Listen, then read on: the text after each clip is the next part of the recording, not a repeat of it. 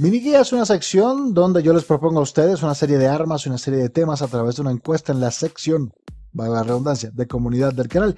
Y ustedes votan por cuáles yo trato dentro del podcast. A los efectos, Normalmente el que quede en primer lugar es tratado en el podcast, los que queden en segundo y terceros lugares simplemente se prolongan una semana más porque la idea es tocar el mayor número de armas y temas posibles.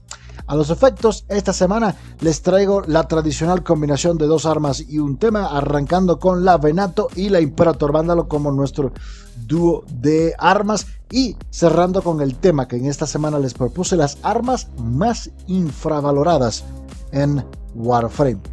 Pues como ya es habitual, el tema de las armas más infravaloradas en Warframe ha resultado ganador con una ventaja bastante sustancial perdón, sobre la Venato y la Imperator Vándalo. No obstante, hablemos de las armas más infravaloradas en Warframe, el cual es un tema bastante contencioso. Sin embargo, en esta ocasión vengo con numeritos, señoras y señores, porque basados en los usos de las armas primarias, secundarias y melee en Warframe, ciertamente podemos objetivamente hablando hablar de armas infravaloradas. ¿Y qué cosa es un arma infravalorada? Bueno, un arma infravalorada es un arma que reciba muy, muy, muy poco uso, pero que al mismo tiempo sea muy buena. Por tanto, en esa dirección yo he buscado armas que en su mayoría tengan usos por debajo del 0.5% de los jugadores, de acuerdo a las estadísticas de uso de Warframe, por lo cual las convierte en recontra infravaloradas, si es que menos de un 1%, si es que menos de medio punto porcentual ciertamente las usa con determinada frecuencia, porque recuerden que las estadísticas para uso determinan el uso del arma luego de maximizada. ¿no? Sin embargo, eso de armas muy buenas con muy poco uso también equivale a armas con muchísima disposición agrietada. Tal es así que la disposición agrietada de las armas que les voy a mencionar a continuación es entre 4 y 5 en la escala de bolitas, lo cual quiere decir que los números que pueden sacar en caso de obtener un agrietado para cualquiera de esas armas es absolutamente asquerosos. Así que arrancamos y a los efectos les traigo 4 primarias, 4 melees y 2 secundarias. Arrancamos o comenzamos esta selección de las armas más infravaloradas en Warframe con las primarias y la Strun Fantasma. Usada por un 0.06% de los jugadores, la Strun Fantasma es una escopeta fenomenal. El principal problema de la Strun Fantasma es que es una escopeta cuyo sistema de recarga funciona muy similar al de la Corith, es de proyectil en proyectil y tiene un cargador de 10 proyectiles si mi memoria ahorita mismo no me falla. Lo cual hace que, bueno, podemos estar ahí cargando todo el cargador un buen ratito. Pero en términos de potencial, esta cosa es una auténtica bestia. El Strun Fantasma es una bestia. Yo se las aconsejo. Por una parte tengo el arma maximizada y por la otra tengo un agrietado porque esta cosa tiene disposición máxima. En fin, la Strum Fantasma es un arma muy, muy, muy, muy, muy buena que honestamente me sorprende muchísimo que la use apenas un 0.06% de los jugadores. Siguiendo con esto de armas infravaloradas, otra que es más de lo mismo es la Lock, apenas usada por un 0.08%, igual que el Strum Fantasma, ustedes me han visto usar a mí Lock. No es que ahora la Lock sea la, la, mejor arma del juego, ni mucho menos, pero sí es un arma infravalorada porque posee un potencial crítico muy bueno, posee un potencial de estado muy bueno. Su función secundaria es que puedas marcar a un blanco, a un objetivo, y eso incrementa la probabilidad crítica, lo cual es sencillamente fantástico. En general, la Bushlock es un arma con muy, muy, muy buenas prestaciones, cuyo principal problema es el hecho de que sus proyectiles tienen velocidad de trayectoria, pero es bastante rápida, ¿no? Encima de eso posee una disposición ahorita altísima, honestamente, es una de las más altas de todo el juego. Y en general es un arma muy, muy, muy buena. Un arma muy, muy, muy buena que, repito, no es que ahora, Dios mío, sea un monstruo escondido, ni mucho menos, pero ciertamente deberían echar un vistazo. Siguiendo esta línea de armas primarias infravaloradas, tenemos a la Ferrox usada apenas por un 0.15% de los jugadores. Eh, la Ferrox es buenísima, señores. Ciertamente presenta esa característica única de ser un rifle lanza, que es un arma, un tipo de arma muy, muy, única, pero es muy, muy, muy buena también. La Ferrox es muy, muy, muy buena, posee muy buen potencial a todo lo largo tiene su sistema de funcionamiento que es tal vez la parte a la cual tengamos que adaptarnos más o la cual lleve más tiempo de adaptación. Ciertamente es un arma que no se ajusta del todo a la meta actual, aunque sin dejar de presentar los aspectos muy muy atractivos. La disposición de esta arma no es la máxima, es de 4, pero es altísima igual. Esta es un arma fantástica también. No es tampoco ahora, oh Dios mío, un arca plasmor o algo así, no, pero es muy muy muy muy muy buena. Honestamente sus números son excelentes. En fin, no entiendo por qué la usan tampoco, porque es un arma buenísima. Y cerrando el cuarteto de primarias menos o más infravaloradas en Warframe, tenemos a la Glaxion Vándalo usada apenas por un 0.17%. La Glaxion Vándalo tiene la misma disposición ahorita, si mal no recuerdo, que la Ferrox. Es un rayo de hielo que funciona en todas partes, tiene un potencial muy, muy, muy, muy, muy bueno. No es que ahora lo miremos y, a las primeras de cambio resalte un potencial, vamos a decir, despampanante, ni mucho menos, pero es un arma muy, muy, muy potente. Honestamente, es un arma potentísima que en las manos adecuadas y con los recursos adecuados en términos de inversión puede sacarle, podemos sacarle realmente muchísimo, muchísimo jugo. Yo recuerdo cuando salieron los, los aretados, uno de los primeros aretados que obtuve fue para la Galaxion y todavía me arrepiento de haberlo vendido porque era un aretado muy, muy, muy, muy, muy bueno. Pero bueno, la Glaxion Vandal es una de esas armas que honestamente son infravaloradas, o sea, por menos de 0.2% de los jugadores, siendo un arma tan, tan, tan buena, híbrida, perfectamente viable, tanto con críticos como con estados.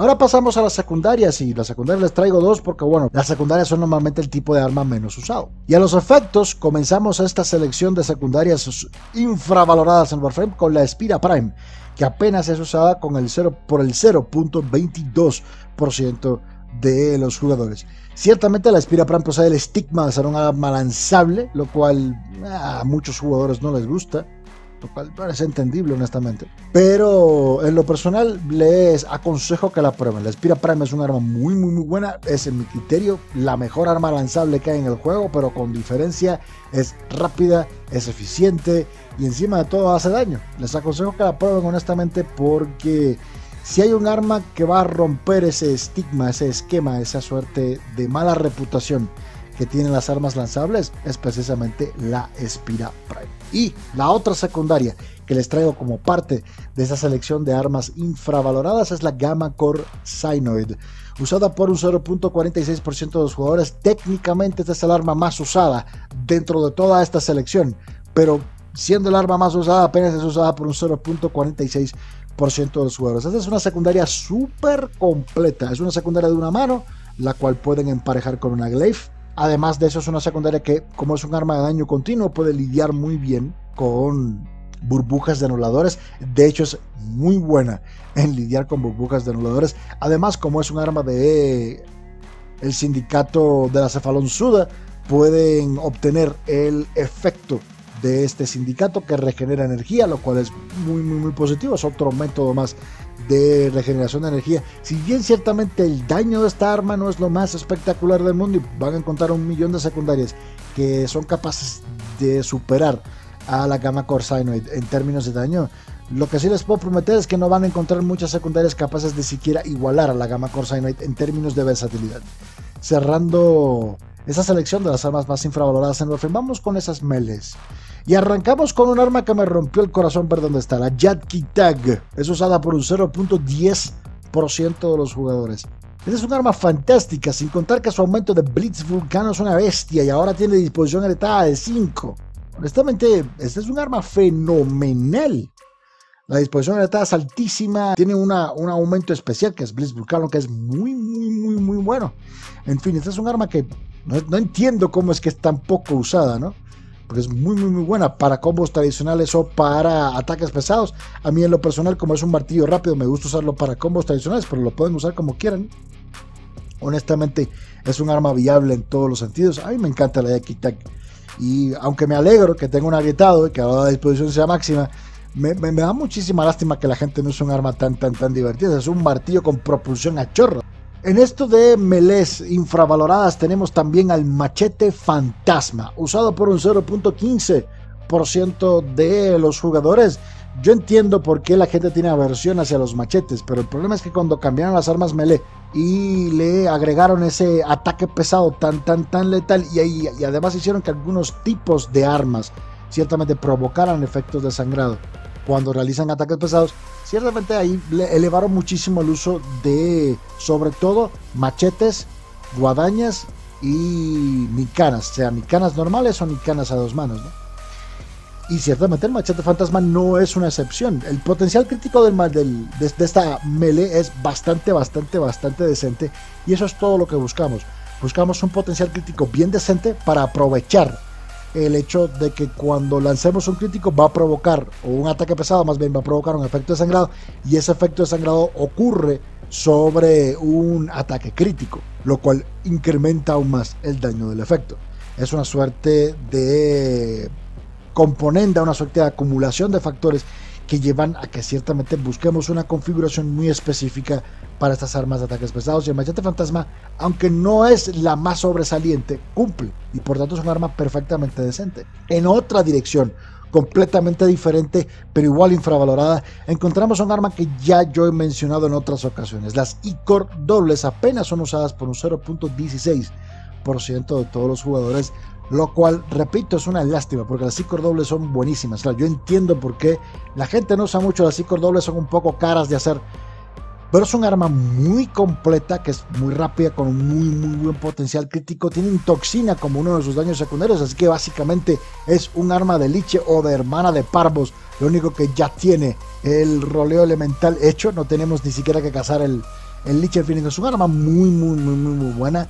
Es un arma rápida, teóricamente son espadas dobles, lo cual quiere decir que los combos son muy muy muy buenos. Y honestamente son ideales para abrirse combos tradicionales, para aquellos que tanto les gustan los combos tradicionales. Y ya cerrando completamente esa selección de las armas más infravaloradas en Warframe, les traigo al Tipedo Prime, usado por un 0.16% de los jugadores, igualito que el así dobles, lo del Tipedo Prime es otro crimen porque honestamente el Tipedo Prime hace más daño, tiene mejor potencial crítico y en general es mejor arma que la versión normal. Una versión que por demás es más usada que la versión Prime. Y el por qué no lo usan más, no me lo explico, porque esta es un arma Prime que salió con el acceso Prime de Equinox Prime.